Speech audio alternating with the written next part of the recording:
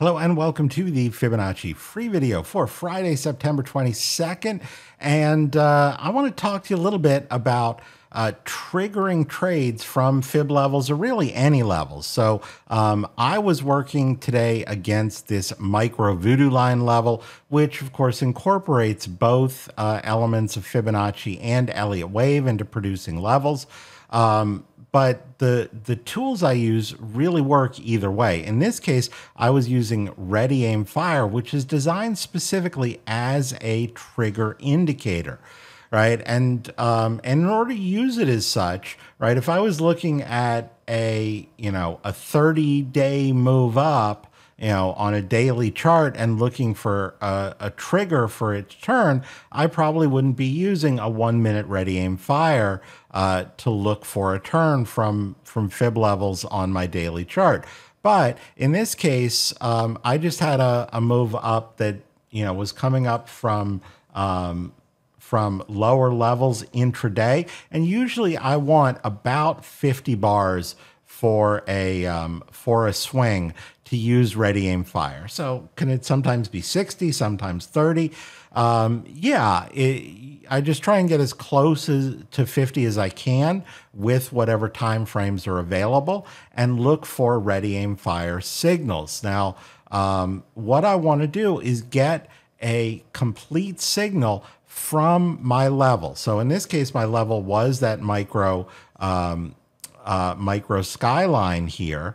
And what I want to see for a sell is first a red, dark red ready, right?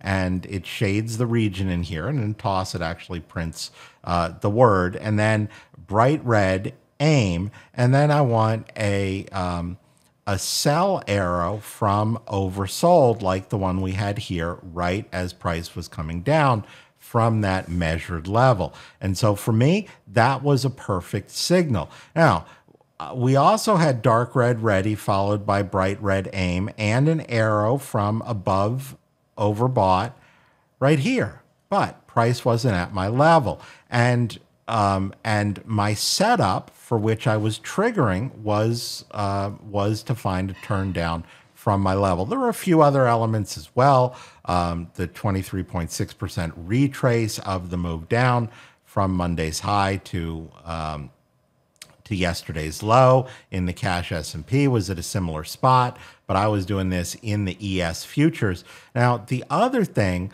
that I find to be a useful tool is um, is John Carter's quant pivots. So um, I've got quant pivot resistance that you can see is right below this um, uh, this micro skyline level. And here's why that's important, right? The quant pivots are designed to find um, levels beyond which a move is overcooked and, and unlikely to remain there.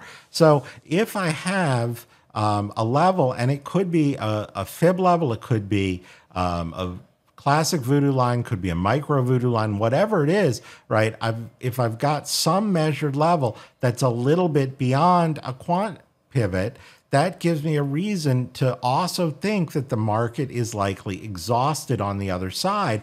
And I'm going to actually prefer levels that are a little bit beyond a quant pivot. So, um, so that gave me uh, added confidence to look for a turn down from that level, along with the aim signal, and um, and we continued solidly down uh, from there. Now, the other thing, uh, and I'll I'll show you where I got out. Now, this is less fib and more Elliott wave, right? But you can see we had a nice one, two, three, four, five. Um, and the the other thing that I um, that I found, uh, or the, the thing that I actually invented Ready Aim Fire to work with was sort of timing the end of Elliott wave moves. And so when we got a five wave move down, still here on the one minute um, chart with Ready Aim Fire, right? You could see we got uh, dark green ready, bright green aim. And then after we got this move that was suitable for a fifth wave, getting a uh, buy signal from um, from below the uh, oversold level. So nice little trade down. Took uh, a little over 20 points here in the ES futures before things popped right back up. It was a nice little intraday trade. Those are the tools that I use. I find them particularly useful with any levels, fib levels, voodoo lines, micro voodoo lines, uh, and uh, hopefully you'll find them useful as well. I will see you at the next update. Hey, David here with Simpler Trading. Thanks for taking a few minutes to watch this video. I hope you found it useful. And if you did, please help us out. Click the like button. You can also add your comments below. We love to read those and respond to them. You can also click the bell icon. That will alert you whenever we have new and updated videos. And if you want to watch us trade in real time with our own money, you can visit simplertrading.com to learn how to sign up. Until I see you again, as always, good trading, and we'll see you at the next video.